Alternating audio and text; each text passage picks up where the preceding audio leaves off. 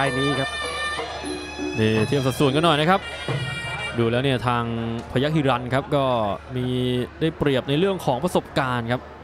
ขณะที่ขุนศึกเล็กเนี่ยเดิมๆก็ลดเด็ดน้ำดื่มน้ำวันแหละครับต่อยมาหลายศึกหลายสายนะครับคนนี้เป็นมวยหมัดธรรมชาติเลยครับเดี๋ยวรอดูนะครับว่าวันนี้เนี่ยหมัดธรรมชาติกับความเก๋าเนี่ยใครจะได้เปรียบ สำหรับในรายการ Thai Fight League ของเรานะครับก็ถ่ายทอดสดทุกวันอาทิตย์ครับเวลา 18นาฬิกาถึง 20นาฬิกาโดยประมาณนะครับทางสถานีโทรทัศน์ช่อง 8 รวมไปถึงมีการถ่ายทอดสดผ่านทาง YouTube ครับทางช่อง Thai Fight Official ด้วยครับแล้วก็ในการแข่งขันนะครับในสัปดาห์หน้าครับ 11 มิถุนายน จะเป็นการแข่งขันมวยรอบรุ่น 67 กิโลกรัมนะครับแล้วก็จะมีเอ่อเอ่อทั้ง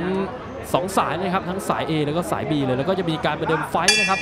ในศึกมวยรอบอิวสุคัพด้วยนะฮะในสาย A ฮะมวยหญิงก็มีนะครับแล้วก็มวยชายด้วยอะแต่ว่าเดี๋ยวไปติดตามคู่นี้ก่อนนะครับในสาย B 61กิโลกรัมอ้าแหมมาเป็นไม้คู่เลยครับ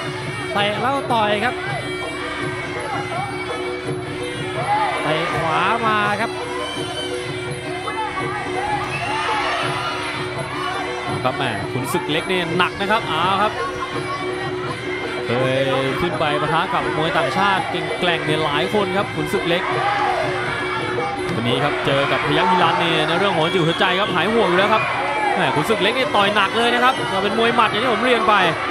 โอ้ศอกก็มาด้วยครับเมื่อสักครู่งัดทักมาลาไปครับ แต่ว่ายังไม่มีเลือดนะครับพยายามเข้าหาครับหมัดซ้ายครับพยายามล้วงลำตัวไปเลยครับขุนศึกเล็ก โอ้ดูดุดันเลยทีเดียวครับ เปิดเกมมา โอ้พยัคฆ์อีกแล้วโอ้ยนี่ครับโดนหมัดโอ้หล่นเลยครับโอ้หมัดขวาตรงครับของทางด้านขุนศึกเล็กครับโอ้ทิมเข้าไปตรงๆครับเต็มหน้าเลยครับโอ้ถึงกับวูบนะครับตอนนี้กรรมการภูกิจครับ นับถึง 8 เรียบร้อยครับฟื้นไม่ฟื้นครับพี่เอกอ่าไหวครับไหวครับขอโอกาสครับเอาหมัดหนึ่งสองครับไม่อยากให้โอกาสครับเล็งแล้วครับเล็งแล้วครับโดนถีบไว้ก่อน เสียหลักเสียจังหวะเหมือนกันครับเตะขวาไปเจอมัดโต้ขึ้นมา เอาครับ ยกแรกก็หนึ่งนับไปแล้วครับผู้ที่โดนนี่คือพยัคฆ์ฮิรันนะครับเตะขวาเข้าไปครับขุนศึกเล็กจะปิดเกมเลยหรือเปล่าครับจับได้เกี่ยวได้แหมยังไม่เต็มหมัดครับโอ้หมัดขวานี่ถือว่าฉมักเลยนะครับเนี่ยออกแต่ละดอกเนี่ยหวังผลทุกหมัดครับขยับกดดันต่อเนื่องอะมียิงลำตัวด้วยหมัดของขุนศึกเล็กขยับหลอกมาตั้งการสูงรัดกุมนะครับให้ดานเนี่ยตอนนี้ต้องพยายามที่จะประคองตัวให้รอดก่อนนะครับ ติดเชือกแบบนี้ครับถือว่าเป็นเป้าให้ขุนศึกเล็กเอาแล้วครับแหมมีแข้งซ้ายโต้มาด้วย โอ้แข้งซ้ายครับเริ่มเห็นครับของพยัคฆ์อิรันวงในก็ตีไปทีนึงครับ ใจของขุนศึกเล็กเนี่ยดูทรงแล้วน่าจะอยากที่จะต่อยให้น็อกไปเลยมากกว่านะครับพยัคฆ์ฮิรันต้องมีแข้งแล้วครับคอยโต้ไว้ครับยาวๆครับ ต้องมีแข้งคอยโต้ยาวๆไว้ครับเอาดักทีบไว้ก่อนครับไม่งั้นเจอหมัดหลับได้เลยนะครับวงในไม่ตีก็แยกมาครับ ที่นี่ไม่มีคิดช้าทำช้าครับ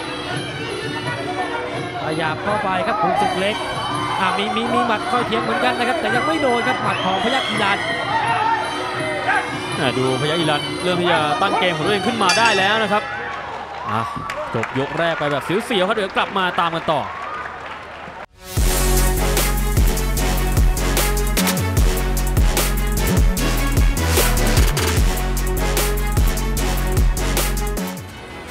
ครับกลับมาตามกันต่อนะครับในมวยรอบคัดเชือกรุ่นน้ำหนัก 61 กิโลกรัมสาย B ครับ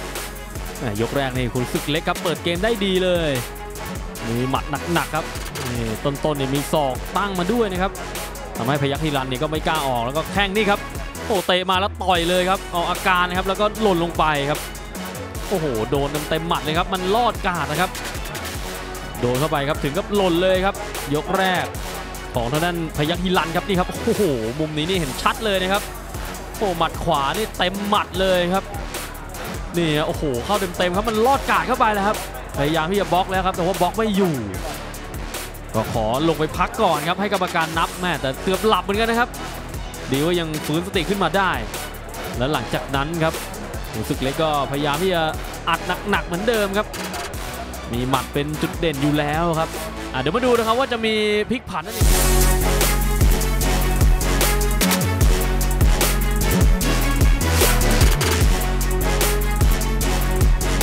เกิดขึ้นครับขอบพระคุณด้วยนะครับ ไปยังบริษัทตรีเพชรอีซูซุเซลส์จำกัดครับ BEAT Active ไบเทคบุรีครับ การท่องเที่ยวแห่งประเทศไทย บริษัทไทยประกันชีวิตจำกัดมหาชน บริษัทการบินไทยจำกัดมหาชน สมาคมกีฬามวยไทยไฟท์นานาชาติ สถานีโทรทัศน์ช่อง 8 กดหมายเลข 27 ครับ เริ่มตั้งสติได้แล้วนะครับ พยัคฆ์หิรัญ ช.ห้าพยัคฆ์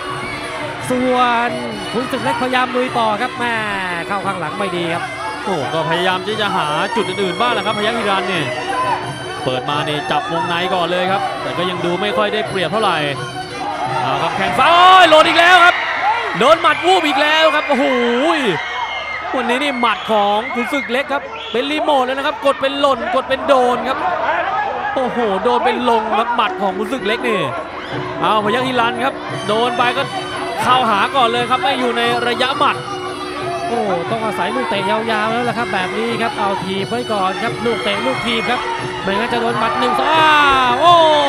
อ้าวเมาอีกแล้ว เมาอีกแล้ว ไม่รู้กี่ดีกรีครับ ไม่รู้ว่ากี่ดีกรีครับ แต่ว่าน่าจะฟื้นพรุ่งนี้แหละครับ โอ้โห หน้าผู้บรรยายตรงนี้เลยครับ โดนเข้าไปเต็มๆเลยครับ โอ้แล้วนี่คือขุนศึกเล็กครับที่คว้าชัยชนะไปได้ครับ โอ้โหโดนไปชุดใหญ่ครับแต่ว่าตอนนี้เนี่ยฟื้นแล้วนะครับ โอ้โห โดนชุดเดียวครับขุนศึกเล็กเนี่ยหมัดวันนี้ครับฉมังจริงๆครับ โอ้ต่อยได้อย่างหนักหน่วงรุนแรงแล้วก็มีประสิทธิภาพ โอ้ยอดเยี่ยมเลยครับ ก็เป็นอีก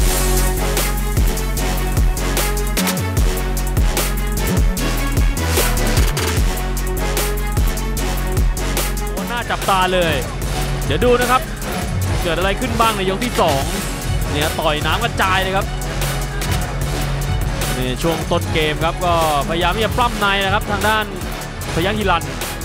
เนี่ยแต่หลังจากที่เปิดโอกาสให้กุนศึกเล็กครับต่อยครับหล่นเลยครับโอ้โหโดนลำตัวเข้าไปก่อนนะครับนี่ฮะแล้วก็ขึ้นบนครับขึ้นบนเนี่ยโดนบริเวณท่อนแขนแหละครับแต่ว่ามันก็รุนแรงมากพอครับ แล้วก็จังหวะนี้ครับลุกไล่เข้ามาครับโดนแล้ววูบครับ วูบก็ไม่เหลือครับแบบนี้ใส่หนักจัดเต็มครับ โอ้โหดูครับ หล่นอยู่ตรงมุมผู้บรรยายเนี่ยครับนี่ฮะหมัดขวาของขุนศึกเล็กครับ ต่อยเข้าไปเต็มๆเลยครับวูบครับวูบแล้วก็ขึ้นมาอีกชุดหนึ่งครับขุนศึกเล็กก็ไม่ปล่อยโอกาส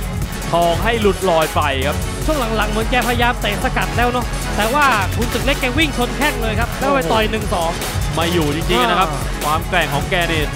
โอ้ถือว่าน่าจับตาเลยครับในสายบี 61 กิโลกรัมขุนศึกเล็ก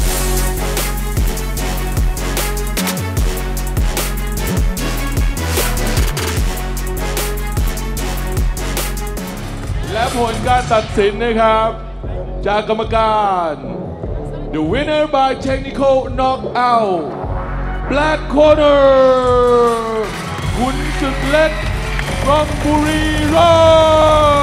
มย์